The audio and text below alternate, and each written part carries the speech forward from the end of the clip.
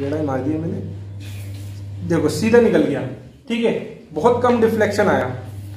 ये थोड़ा सा डिफ्लेक्शन आया और अब मैं बिल्कुल बीच के अंदर हिट करूँगा इसे। ठीक है? तो ये वापस रिवर्ट बैक हुआ।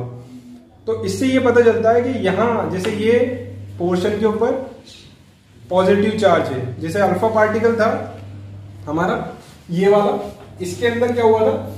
यहाँ से चीज़ गई और बहुत सारे तो इधर आ गए। और जो ये सीधा सीधा गया